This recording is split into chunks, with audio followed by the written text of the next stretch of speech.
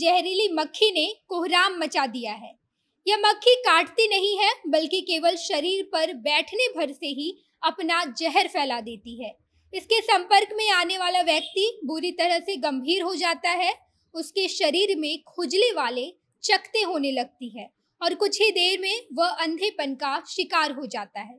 यह खतरनाक मक्खी बिहार के किशनगंज ज़िले में आ चुकी है और यह धीरे धीरे करके पूरे बिहार में फैलती जा रही है। अब नमस्कार, मैं नेहा चौधरी कैमरा पर्सन विशाल के साथ और आप देख रहे हैं जनता जंक्शन। पश्चिम बंगाल में नैरोबी मक्खी एसिड फ्लाई अपना आतंक फैलाने के बाद अब बिहार के किशनगंज ज़िले में भी फ्लाई एसिड मक्खी का हड़कंप शुरू हो चुका है।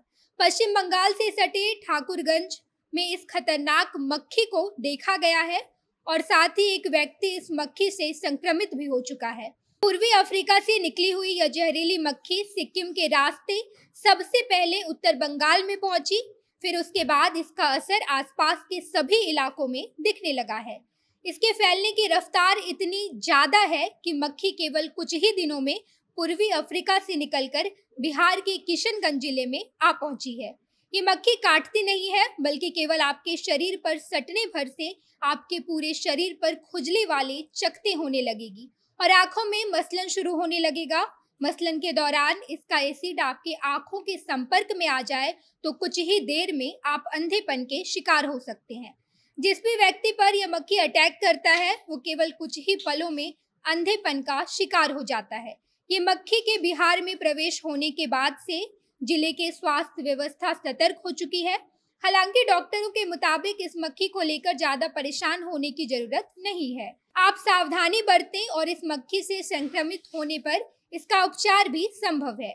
अगर कोई व्यक्ति इस मक्खी से संक्रमण का शिकार हो जाता है तो वह सदर अस्पताल आकर अपना इलाज करवा सकता है। आपको बता दें कि उत्तर बंगाल और सिक्किम के सभी इलाकों में नैरोबी मक्खी का प्रकोप फैल चुका है।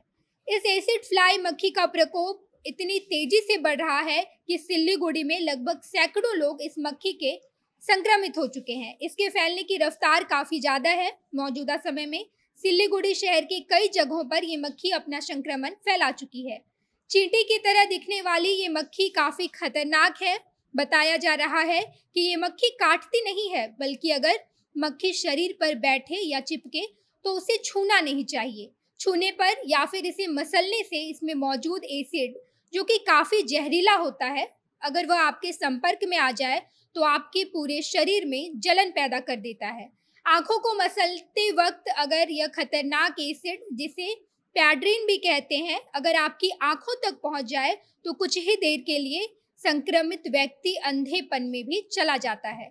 चिकित्सकों की सलाह है कि शरीर पर इसके बैठने या चिपकने का अगर किसी को पता चलता है तो धीरे से सिर्फ़ फूक मारकर उड़ा दें या फिर ब्रश करके इस एसिड फ्लाई को वहाँ से हटा दें और उसके बाद अपने शरीर को साबुन से अच्छी तरह धो लें।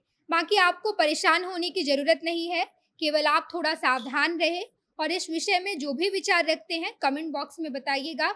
आगे की खबरों के लिए देखते रहिए जनता जंक्शन। धन्यवाद।